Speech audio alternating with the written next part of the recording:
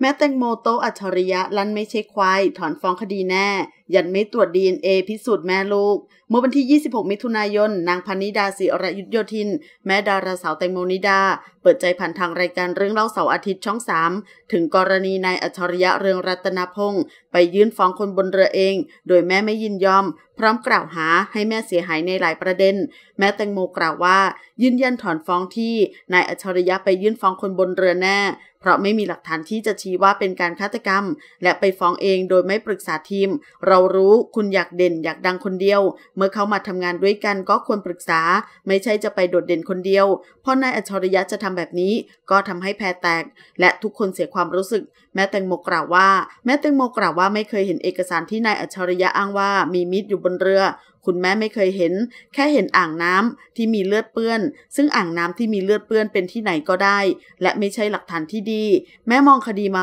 เรื่อยๆ แม่ไม่ใช่ควายยังกินข้าวอยู่ นายอัจฉริยะจะเอาหมดทุกมาตราที่รุนแรง ซึ่งไม่ใช่สิ่งที่แม่ต้องการ คือจะให้อีกฝ่ายติดคุกยาว ไม่ต้องออกจากคุกเลย เขาก็มีครอบครัวจะไปทำอย่างนั้นทำไม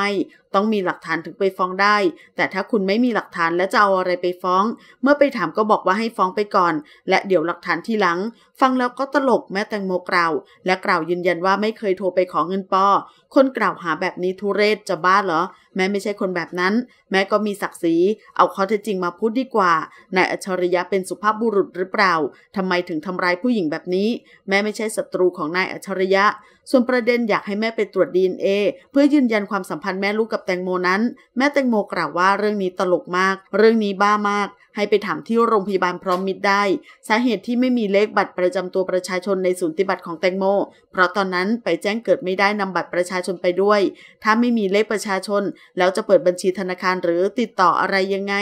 ยืนยันไม่ตรวจดีเอเป็นสิทธิ์ของแม่ ยืนยันแม่ไม่ใช่จำเลย จะบังคับไม่ได้ทำตัวเหมือนแม่เป็นจำเลยนายอัจฉริยะต่อว่าแม่ออกทีวีทุกวัน ยิ่งด่าแม่จะยิ่งไม่ให้อภัย ส่วนที่นายอัจฉริยะจะฟ้อง แม่ก็พร้อมฟ้องกลับเช่นกันทุกเรื่องที่ว่าแม่ยืนยันไม่เคยเล่นพนันด้วย แม้จะไม่พูดชื่อออกมาก็ตาม แม่แตงโมกล่าว ขอขอบคุณข้อมูลจากข่าวสดขอบคุณค่ะ